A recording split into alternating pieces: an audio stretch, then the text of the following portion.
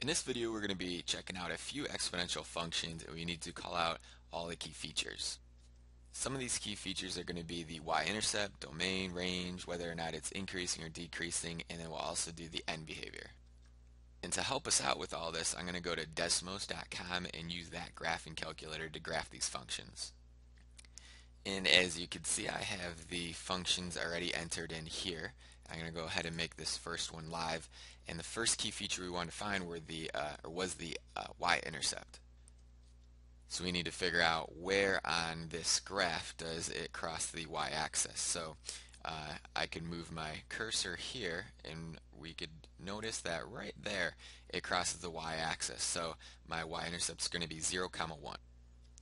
I'll go ahead and put that right here, 0, comma 1. And I want to find my domain. So the domain represents the range of inputs or x values on this graph. So the lowest possible input we could have here as we move to the left or as our x values decrease. Right now you can see the x is negative 1.91. As that number gets lower and lower and lower, you could see that it keeps going and that's going to be towards uh, negative infinity. So that's going to be like the, the low boundary.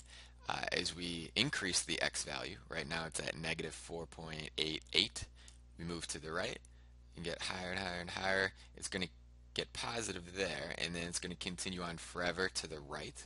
Uh, that's going to be positive infinity for the x value. So it's going to be all real numbers. We could write that in here as negative infinity, comma, positive infinity, and then we always use parentheses with the infinity symbols. Now for range, and uh, range is going to be looking for the range of all the possible outputs or y values. So the lowest possible uh, output is going to be, uh, right here is 0.66, right? So watch that number. As we uh, move this way, my y values are getting lower. They're getting closer and closer to zero, but they never actually touch zero. Right now it's at 0.025. Um, it's just going to keep getting lower and lower and lower. It's going to approach zero, but it never gets to it.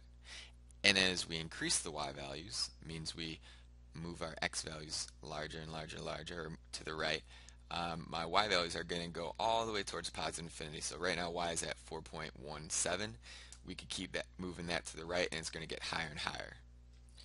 So for the range, the lower boundary was at 0 and then it kept increasing all the way to positive infinity. We're going to use parentheses there, and we're going to also use parentheses with the zero because it never actually touches zero. If it did, then we use brackets, but it didn't, so we would just write parentheses. Now, is this uh, exponential function increasing or decreasing? Well, uh, as we go from the left to the right, so as our x values increase, we know that our y values are all increasing as well. So we would call this exponential function uh, a growth or it's increasing. And then lastly, end behavior. Um, as the x values approach negative infinity, or as the graph moves to the left, uh, what is uh, f of x doing, or what are our y values doing? So going back to my graph here, as x values approach negative infinity, as they get lower and lower and lower, the y values are approaching zero. And then as we move to the right, as x values are approaching positive infinity, my y values are going all the way up to positive infinity. So I'll write those answers here. It's going to be 0 and positive infinity. So you can see that the end behavior kind of reflects the range. Okay, now we're going to do that same thing with B, C, and D. Going back to Desmos, I'm going to make this graph live. So this is going to be part B, and that's the blue one. So now let's compare that to the red one, the first one we did.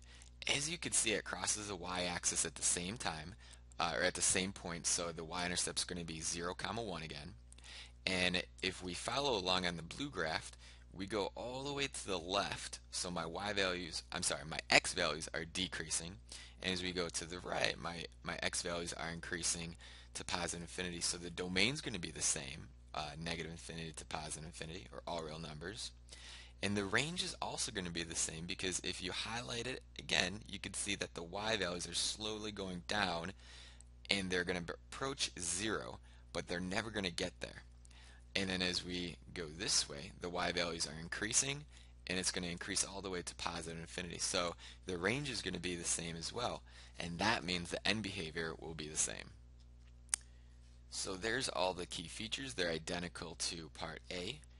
And if you're wondering, well, what's the difference between them? Well, look at them closely. The, the rate at which it increases is a little different, and the only different thing in the equations are the base. Here you have a base of 2, here you have a, a smaller base of 1.5, so you can see how that changes in that curve of the graph.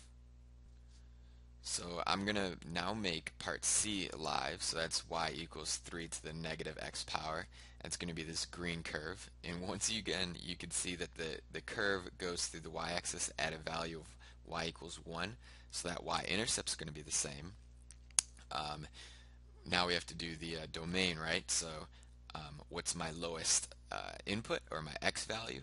As we move this way, you could see that it, it gets lower and lower and lower. Um, so right here, for example, x is negative 1.381, and we can make that number even smaller and smaller. It's going to go to negative infinity, and then as we move to the right, it's going to increase forever. So we could say that that's going to be positive infinity. So the domain is going to be the same as the red one and the blue one. Uh, the range, well, what's my lowest y value? Right now my y value is at 0.106 and I can make it lower and lower and lower, closer to zero. But just like the blue and the red, it never touches zero. It's going to approach it, but it never gets to it. So that's going to be the lowest, uh, the boundary, or I should say the, the low boundary. And then as we go this way, the, the y values increase forever.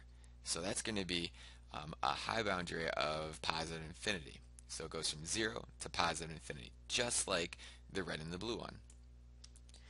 And remember, the end behavior is going to reflect the range, so it's the same. So here are the key features at this point. We have the y-intercept of 0, comma 1, and then I've also written the domain and the range.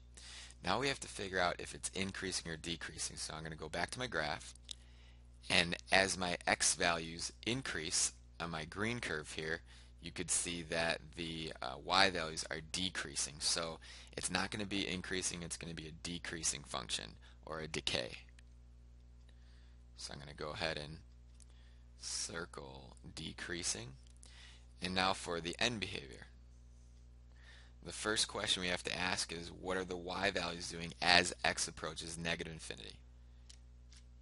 So as the x values are approaching negative infinity or getting smaller, you can see that the y values are increasing right here, right? The y at this point is 1.918 and as we move farther to the left it's increasing to 2 and it'll go up to 3 and 4 and so on. So it's positive infinity. So I'll go ahead and write that in here. And then we want to figure out what f of x or y is doing as x's approach positive infinity. So as my x values are getting higher and higher and higher towards positive infinity, you can see that the y values are getting lower and lower and lower, but they are going to bottom out at about zero.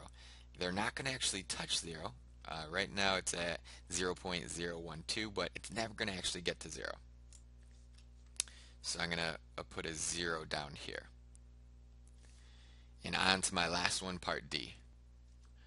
I'll go ahead and make part D live. So now part D is going to be the purple one. We have y equals 0.25 to the x power.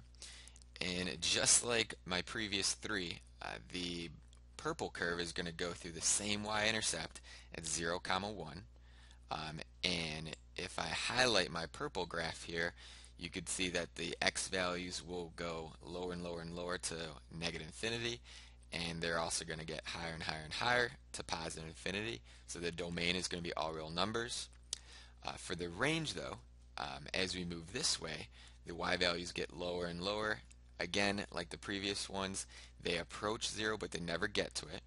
So that's going to be the bottom part of the range.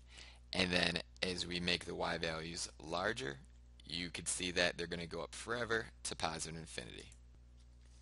So all of those key features are the same as all of these. Now let's see if it's increasing or decreasing. Going back, uh, you can see it's got a similar path to the green one. So as my x values increase, you can see the y values are going lower. They're decreasing, so this function is going to be decreasing. I'll go ahead and circle that. And then on to end behavior. As the x values approach negative infinity, or as my graph moves to the left, I'm highlighting my purple one here. You could see that the y values are approaching positive infinity. And then as x values approach positive infinity, or as we move to the right, the y values are approaching zero, but they never get to it. So as we go to the left, it's going to go to negative infinity, I'm sorry, positive infinity, and as we move to the right, it's going to zero. So as we move to the left, it's positive infinity. As we move to the right, it's going to be zero, just like this end behavior right here. Now if you compare all these exponential functions, you could clearly see that the y-intercepts are all the same. And if you're thinking, wait, how can that be? Well, what happens when we have a y-intercept? Well, that means that our x value, I'll go back to the graph here, my x value is always going to be 0. Any point that a curve crosses the y-axis, my x value has to be 0. And if you plug in 0 for each of these x values that were in the exponents, you're going to get 1 as a y value because any base number raised to the 0 power is 1. So unless we're adding something on the outside here, subtracting something to make that exponent not 0 and that base to just not be the base, then our y-intercepts are all going to be at 1. Another thing that we could take away from this is that exponential uh, functions will always have uh, a domain of all real numbers, but the range is going to be a little bit different and then we're going to have increasing or decreasing and then usually the, the range is going to um, reflect the end behavior.